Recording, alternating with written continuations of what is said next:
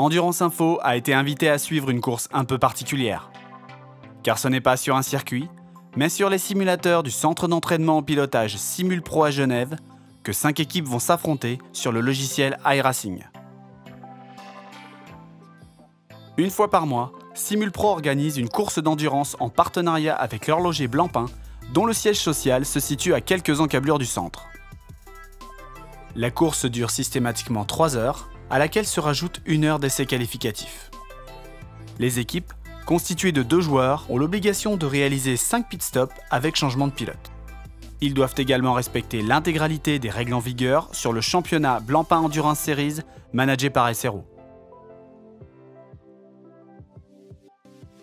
Cette fois, c'est sur le circuit du Nürburgring que les équipes vont courir. Les gagnants partiront à Monza pour suivre le meeting 2018 du Blancpain Endurance Series.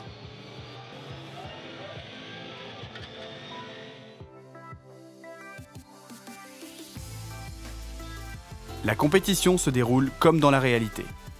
Tout commence par le briefing où les règles de la course sont exposées aux concurrents. Puis vient le choix des voitures.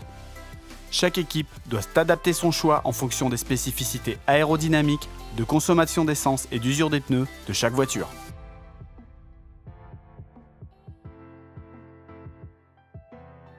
Dès le départ des essais, la compétition est très disputée. Les différents teams s'échangent les meilleurs tours et c'est finalement la BMW Z4 du Team Rocket qui prend la pole position. Au départ, le Team Rocket fait le all shot.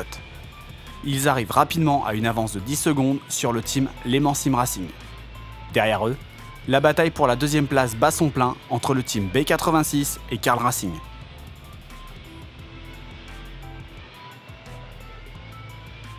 25 minutes après le départ, le Team Rocket réalise son premier ravitaillement.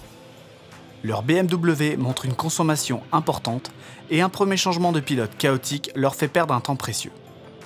La Mercedes du Le Mans Sim Racing en profite pour prendre les commandes et se crée rapidement une minute d'avance sur leur plus proche poursuivant. Confortablement installés en tête pendant l'heure suivante, ils vont cependant avoir une pénalité pour vitesse excessive dans les stands qui leur fera perdre toute leur avance.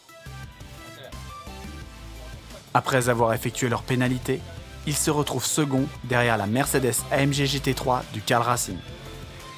Ils s'échangent alors plusieurs fois la première place jusqu'à l'accident de celle de Le Sim Racing. À la fin de la deuxième heure de course, B86 et Carl Racing font la course en tête. Les Racing sont quant à eux à 50 secondes. L'arrivée est proche et les erreurs s'enchaînent. B86 doit réaliser à son tour une pénalité pour vitesse excessive dans les stands. Elle leur fait perdre la première place au profit de Sim Racing, qui vient de dépasser le Carl Racing.